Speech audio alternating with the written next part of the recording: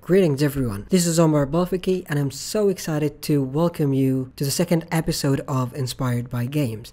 If you haven't watched the first episode, I'll leave the link somewhere here and also in the description. So if you haven't watched it, the series is about taking an interesting feature from our beloved games and then trying to imitate that feature for the sake of learning. And I believe that reverse engineering is one of the best ways of learning. The first episode was God of War. We imitated the axe of Kratos, and today we're taking Red Dead Redemption. And the feature we're going to implement is the Dead Eye system. So this is the end results.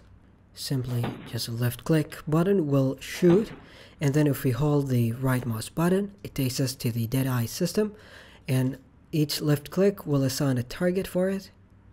Once we release the right mouse button it will start shooting these targets. It's pretty cool. I'm so excited to finally share this tutorial with you guys. Alright I hope you're excited and let's get started. We go to scenes. Sorry we go to scenes and then setup scene.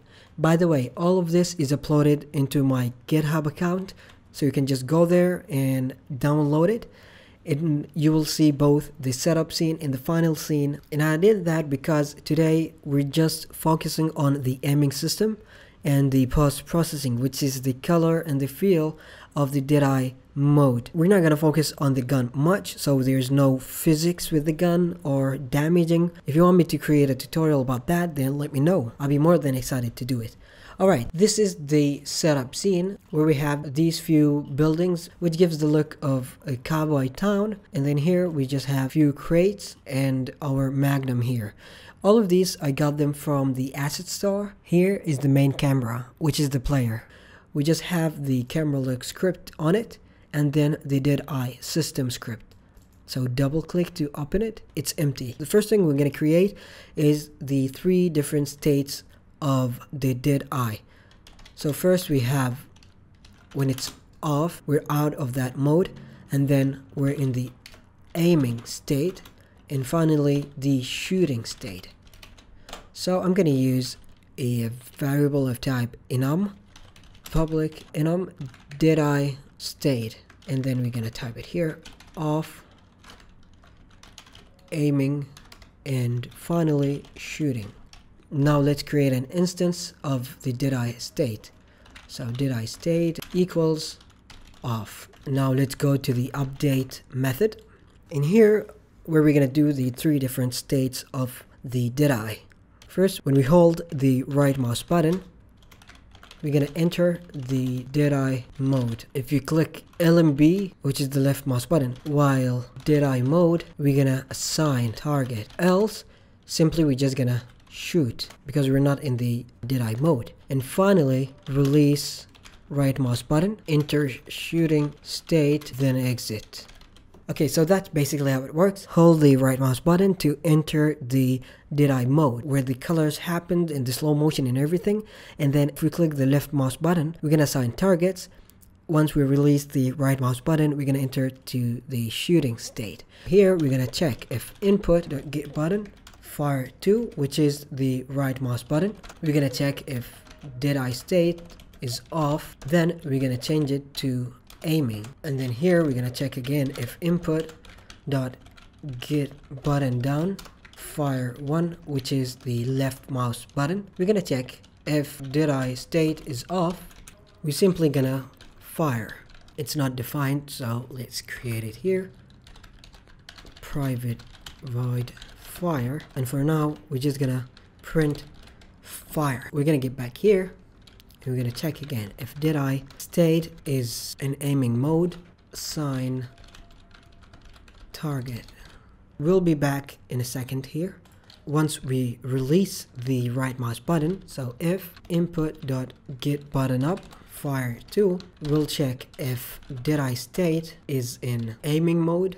We will go to shooting mode now let's do the target assigning. First, we'll need a variable that stores all the targets in it. So we'll create a list of transforms. Let's call it targets.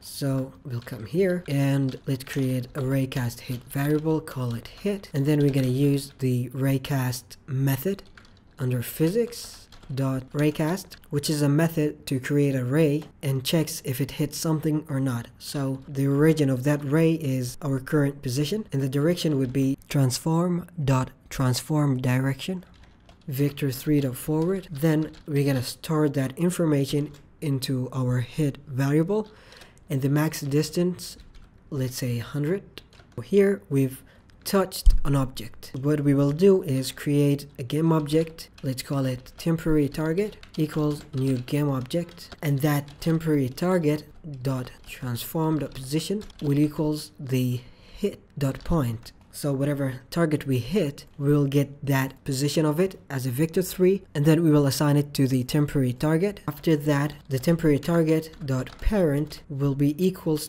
to the target we hit we will create a temporary target and then we will update its position to the hit point and after that we will make it a child of that object. So if that object is moving, the target will follow it. And one more step is adding it to the list of targets. So targets dot add. The target is a game object, so we will get its transform to store it there. And now we've assigned a new target. Let's save it, go back, Okay, so if I hit play, as you can see here, the targets are 0 and the dead eye state is off. So let's hold the right mouse button. It's changed to aiming. If I release it, it goes to shooting, but it doesn't update. Okay, let's try adding targets.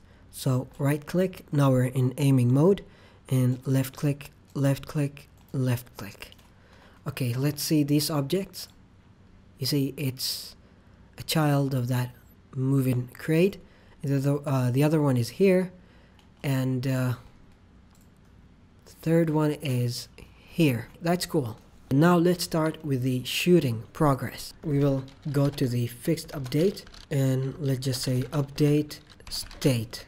Okay so let's create a function called update state where we're going to control shooting and the transition between these three different states. We also need to turn off the camera controls. So let's create a variable of the camera look. Let's call it cam underscore look. Here we will check if dead eye state is off, we will enable it equals true. Else if the state is aiming mode, cam look dot enabled is true as well and finally else we're in the shooting state where we're gonna lock the camera. So it will be automated. So we're just gonna lock the player from controlling the camera by disabling the camera script. Else when it's shooting then we're gonna update targets. Let's create another void update targets. Here where we're gonna do all the rotations. So first of all we will check if dead eye state is actually on shooting mode and our targets count is more than zero then we're valid to start doing the calculations let's create a temporary variable call it current target equals targets 0 to get the first item on the list. Now we got the current target and now we want to look at the target and to do so we're going to create a quaternion variable. Let's call it rot equals quaternion dot look rotation. And what it does, you specify the distance between our target and us, and then it will calculate the angle to look at the target. So current target position minus our position. Now we're going to update the camera rotation to this new rotation. But if we assigned rot directly to the current rotation, it will change it instantly. But we don't want that we wanted to change gradually to have some sort of animation to it. So we're going to use another quaternion function, which is the slerp function, the current rotation, which is transform dot rotation, and the target we want to reach is rot, and then the speed, let's say 30 degrees per second. We just multiply it by delta time, and now we're rotating to that target. Okay, let's give it a shot. The camera look, we just drag the camera look here. Let's test it out. So if I set this as a target, now it's looking at it. If I move it around, it will keep looking at it. But now we want it to move from this target to the next one. And once it's looking at it, it will fire and then goes to the next one and so on.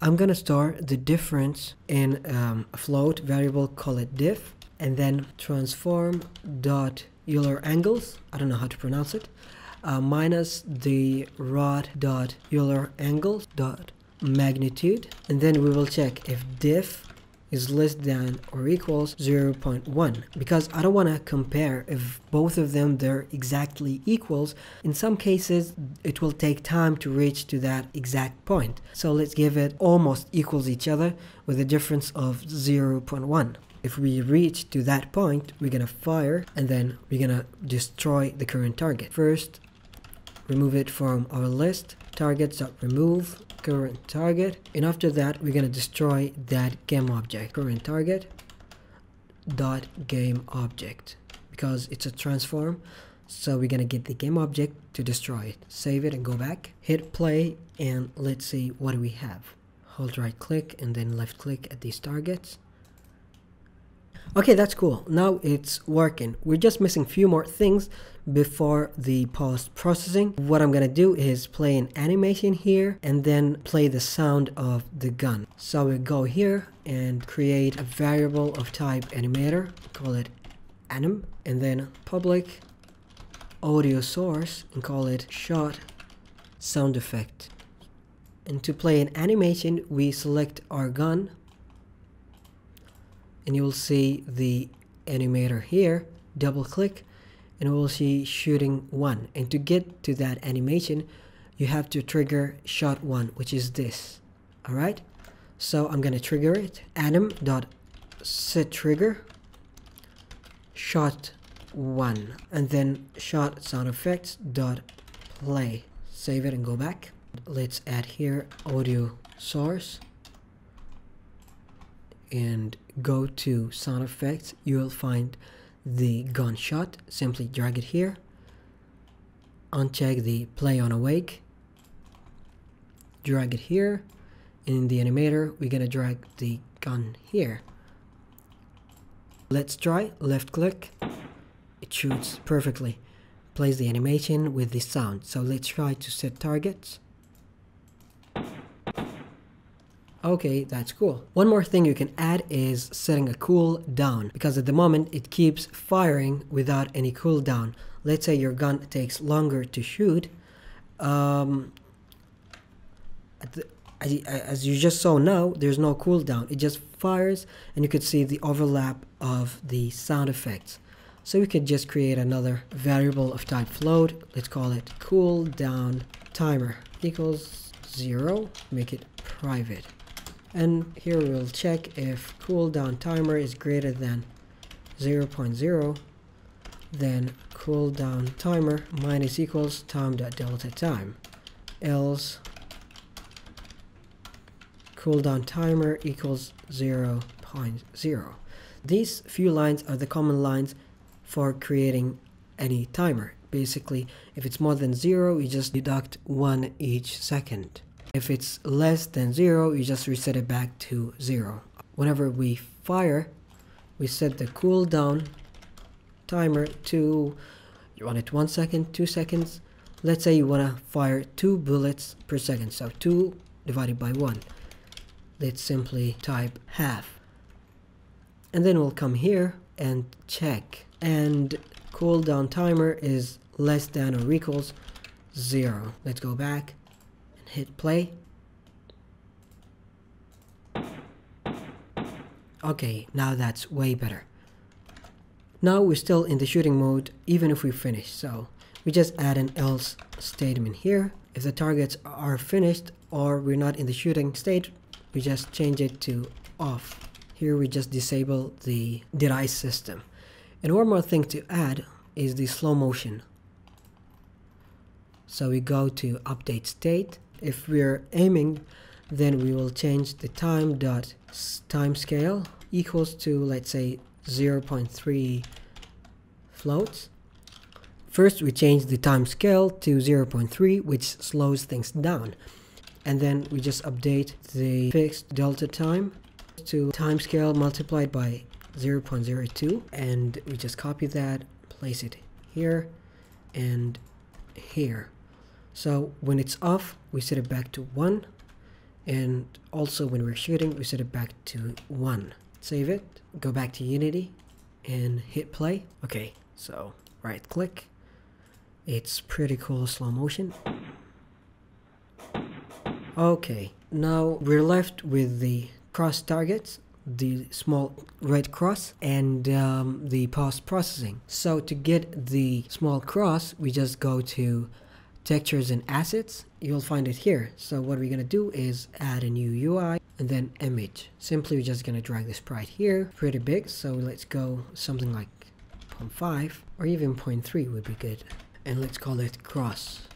Let's duplicate it a few times yeah five times and disable it save it and go back in here we're gonna create below targets public transform. This time we're gonna use an array target cross. And then here in the fixed update we will update targets UI and it's another function that we uh, we will create that is responsible for these guys. So for integer i equals to 0, i less than target cross dot length, and then i plus plus. First we'll check if i is less than targets dot count, which means we're within the limit of the targets we have. Simply we will just say target cross i dot position equals camera dot main dot world to screen point, we're going to convert the target point to a screen point for the UI. So we're going to pass the current target dot position. Else, we'll just disable the current uh, the current cross dot game object dot set active to false. And once we use it, we want to set it to true.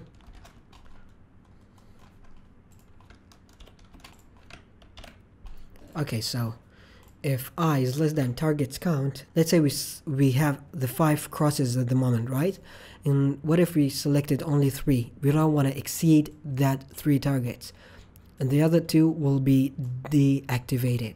They will be disabled all right? And if we're still within the first three we're going to enable it and change its position to the target convert it to the screen point. Save it and go back. Okay so in order to select all of them instead of dragging one by one because you know if you select more than one it will change to their inspector. What we will do is go to the camera and then lock that inspector. So now it, it won't change. Select these five crosses simply drag them here and then unlock it again.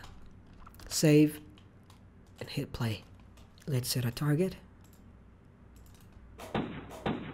Okay that's so cool. And now we're left with the last and the coolest step, the post-processing. But first you want to make sure that post-processing package is installed. To do so, you go to Window, Package Manager, and you'll see it here. In my case, it's installed. So go to our camera here and add component, post-processing volume, and then post-processing layer, and then change the layer to uh, post-processing and also the layer here to post-processing.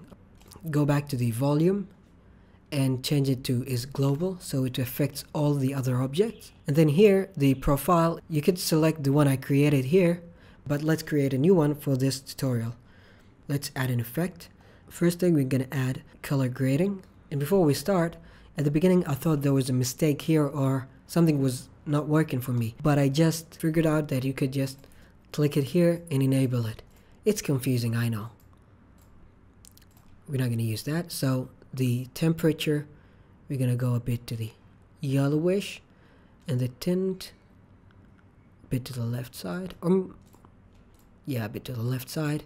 And then we'll go to saturation and desaturate it a little bit. Contrast maybe want a bit of contrast here. And then go to the blue.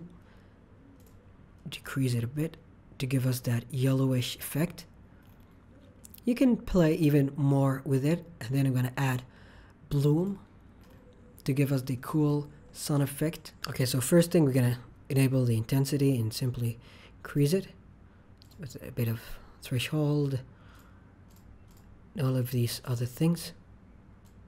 You want to increase it even like that dreamer look. You can do whatever you want. And then finally we're going to add the vignette. So the mode is simply classic, black, and increase everything here. Increase intensity, smoothness, decrease it a bit. You can just play around as much as you want. Oh no, this is sniper. Okay, never mind. And yeah, one more thing, the chromatic effect. It's pretty cool. Look at that. Okay, save it. So if you hit play, it's enabled, but we want to enable and disable that as we go into and out from the dead eye state. To control the effect, you can go to the post-process volume and just change the weight. You see, that's pretty cool. So we're gonna play with that in our script. Okay, we go back here. First, we need to use the post-processing library, which is under the Unity engine dot rendering the post-processing. Come here, public post-processing volume. Let's call it PPV. We go down to the state updating. If it's off, we will check if ppv.weight is greater than zero, we're gonna reset it. ppv.weight minus equals time.delta time and then the transition time in seconds. Let's say we wanted to, to have the transition in two seconds. So multiplied by two. Let's copy that. When we aim, if it's less than one, we're gonna add. So here, if it's more than zero, it will deduct until it reaches 0. And then here is the exact opposite. If it's less than 1, it will keep adding until it reaches 1. So save. You will see a new field appeared here. We're just going to drag it and hit play. Okay. So let's go to the aiming mode, uh, to the dead eye mode.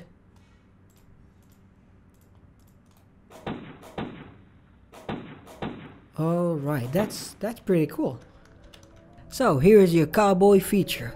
I hope you loved it and if you're interested in these kind of tutorials then subscribe to get more and more of these and let me know what next feature you want us to work on. Again, this is Omar Balfaqih. Thank you so much for watching and until then, see ya.